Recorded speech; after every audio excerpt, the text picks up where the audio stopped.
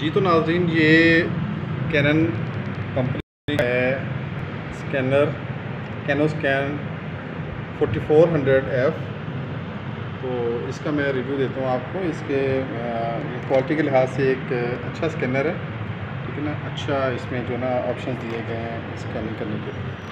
तो इस स्कैनर की ख़ास बात ये है कि ये स्कैनर जो है ये आ, हमारा आम डॉक्यूमेंट्स स्कैनिंग करने के साथ साथ जो है तो ये बाकी जो है। इसमें फ़िल्म स्ट्रिप भी तो वो भी इसमें आप लगा सकते हैं। यहाँ से ऐसे जो ना, इसका जो ना ये निकल आता है, ऐसे।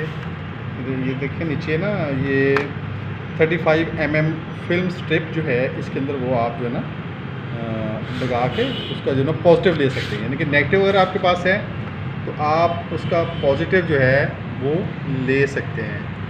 तो स्कैनिंग क्वालिटी इसकी अच्छी है। स्पीड भी अच्छी है तो यहाँ पर कुछ बटन्स दिए गए हैं, जो कि आमतौर पे पीडीएफ जिनकी मदद से बना सकते हैं अपने डॉक्यूमेंट को।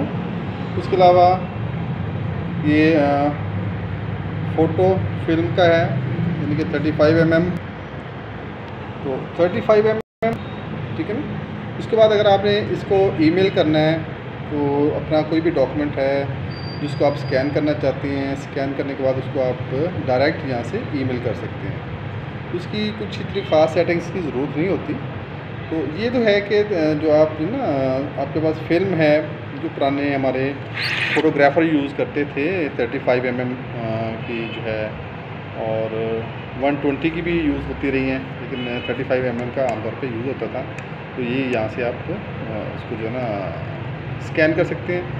उससे क्या होगा कि आपका जो रिज़ल्ट है, जो कि स्कैंड कॉपी होगी, वो बिल्कुल असल तस्वीर की तरह आएगी। ये नहीं, वो नेगेटिव से पॉजिटिव इसको बना देगा।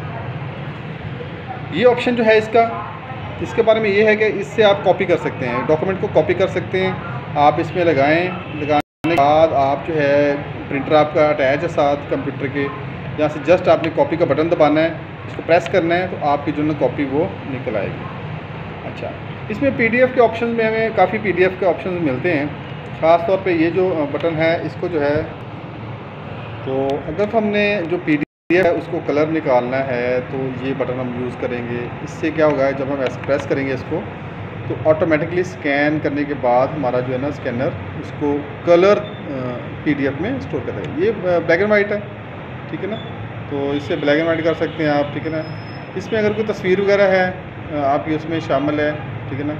वो आप कर सकते इससे आप सिंपल डॉक्यूमेंट्स जो है ना, वो निकाल सकते हैं। तो स्कैनिंग का इसका ऑपरेशन देखते हैं कि स्कैनिंग ऑपरेशन इसका कैसे करता है। तो सिंपल सा है, इसको हम ऐसे कुछ भी रख लेते हैं। तो यहाँ से हम इसको जब चलाते हैं, ऐसे करके तो सिस्टम पे जो है हम स्कैन करेंगे। यहाँ से हम देखते हैं कि ये कैसे इसका वर्किंग है। ये देखें, ये हमारा जो स्कैनर है, अब इसने वर्क करना शुरू कर दिया है। ऐसे, अब स्क्रीन के ऊपर। अब ये 150 फिफ्टी के ऊपर हमने इसको स्कैन किया है। अगर यही चीज़ हम ज़्यादा डीपीआई के ऊपर स्कैन करते हैं, मिसाल के तौर पे 400 के ऊपर हम करते हैं तो 400 डी के ऊपर डेफिनेटली ये जो है हमारा जो स्कैनर है, ये आहिस्ता इसका जो कैमरा, वो चलेगा। अब देख रहे हैं, अब ये बिल्कुल स्लोली मूव कर रहा है। अब ये इतना ज़्यादा फास्ट काम नहीं कर रहा तो ये स्लो स्लो आगे बढ़ रहा है इसका कैमरा, और ग्लास के ऊपर जो कुछ भी पड़ा हुआ था, वो इसने स्कैन कर लिया। तो ये ज़्यादा रेजोल्यूशन के लिए आमतौर पर इसको यूज़ किए थे पासपोर्ट्स वगैरह या इस तरह के जो दूसरे डॉक्यूमेंट्स हैं, जिनमें ज़्यादा डिटेल्स हमें चाहिए होती हैं। वो हम जो है ना इसकी मदद से स्कैन कर लेते हैं। ठीक है? तो बाकी अगर हमने नेगेटिव लगाने हैं इसमें तो उसके लिए इसमें इंस्ट्रक्शंस दी गई हैं कि अगर आपने इसको लगाना है तो पहले इसका जो ना ये वाला जो कवर है वाइट कवर है, निशान दिया गया है, उसको आप रिमूव करेंगे। उसके बाद आप जो नेगेटिव फ़िल्म स्ट्रिप है, वो इसके साथ अटैच करेंगे।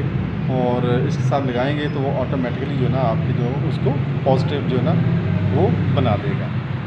तो ये इसका था जी रिव्यू कैनो स्कैन का। उम्मीद है आपको वीडियो पसंद आई होगी। चैनल को सब्सक्राइब करें लाइक करें शेयर करें। Thank you